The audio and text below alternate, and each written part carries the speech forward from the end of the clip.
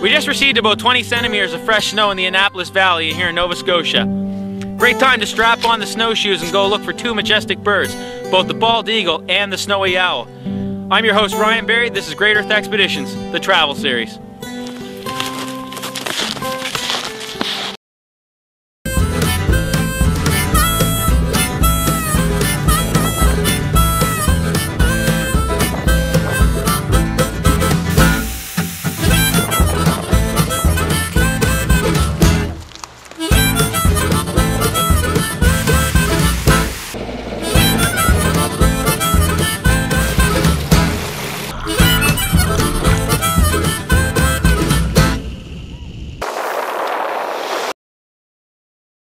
When people think of the Annapolis Valley, the first thing that comes to their mind is the rolling farmlands of green and red. However, during the winter it's transformed with a blanket of snow and welcoming many birds of prey who winter here during the cold months. Situated alongside the Bay of Fundy, the valley has a number of spots where these birds can be seen, but today we're going to focus on Blomidon, Centerville, and along the Cornwallis River. A great way to see these majestic birds is while snowshoeing. This effective and eco-friendly way to travel gets you up close and personal with them in their own territory.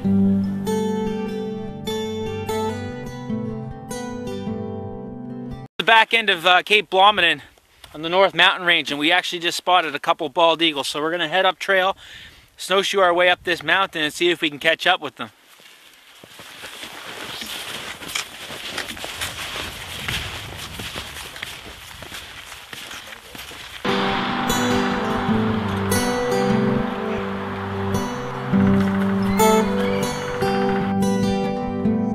That we spotted were full-grown adults. Did you know it takes between 5 and 6 years before a bald eagle gets its signature white tail and head? It's a sign of sexual maturity, at which time they search for a mate and they begin starting a family.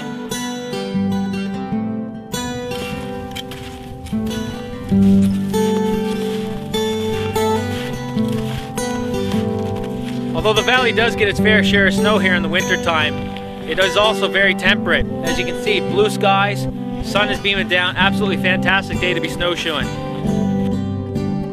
Due to the large number of farmlands and open fields, the bald eagles have the opportunity to feast on many rodents who are scurrying along looking for their own lunch, but many times end up becoming lunch.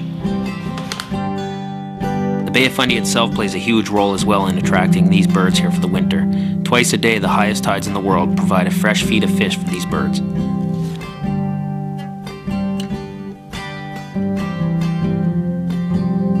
The eagles are not the only animals braving our Canadian winters here.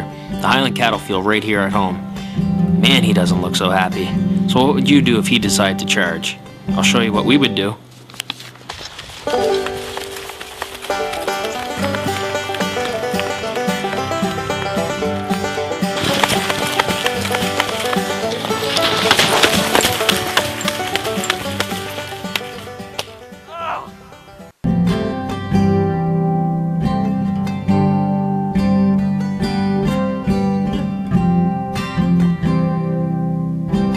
On track and continuing our search, this time for the snowy owl, but coming up short, only finding fox, rabbit, and rodent tracks. But we weren't ready to give up just yet.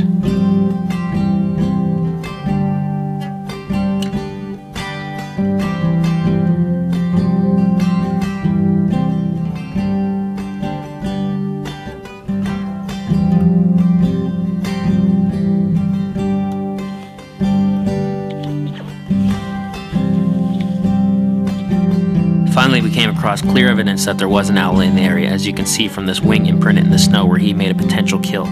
Could this be the snowy owl we were looking for? It's taken us a while to get this far, but we just spotted a snowy owl. He's just at the top of these coniferous trees. We gotta be really quiet because, unlike the bald eagle, if he knows that we're here, he's gonna take off really quick. We're gonna go check him out.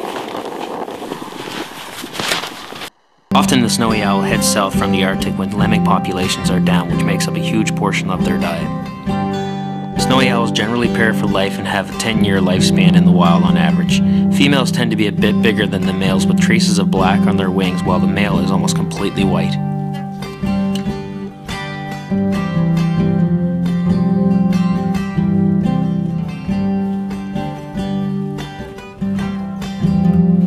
We've spent most of our day chasing wildlife around. Here we see a red fox which appears to be chasing a small rodent. It's amazing to think that he's been running from us all day, and someone else has been running from him.